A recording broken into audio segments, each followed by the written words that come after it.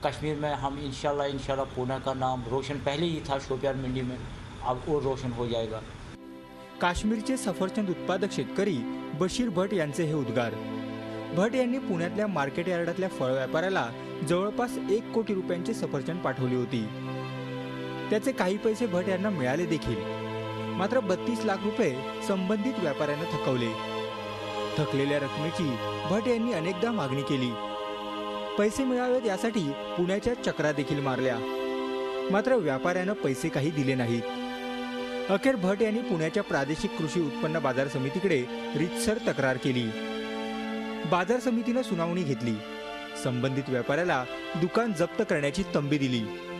बाजार समितीची मध्यस्थी यशस्वी झाली आणि अखेर भट यांना त्यांचे थकलेले बत्तीस लाख रुपये सहा महिन्यांनी मिळाले.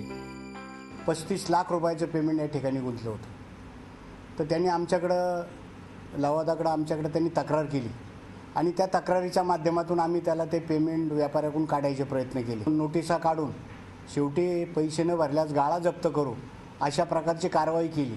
त्यानंतर भटला साडे बत्तीस लाख रुपये या ठिकाणी आम्ही कॅश दिले. बाजार समिती जशी भट यांच्या मदतीला धावून आली त्याचप्रमाणे मार्केट यार्डातल्या व्यापाऱ्यांनी देखील भट यांना मदतीचा हात दिला.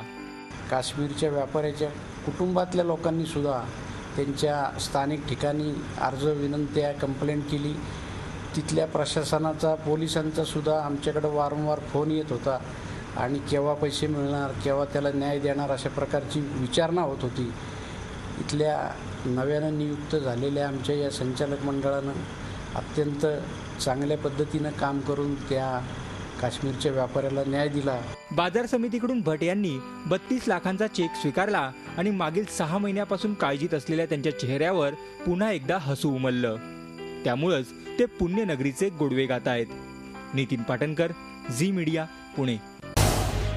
Zee चोवीस तास. रहा एक पाऊल पुढे.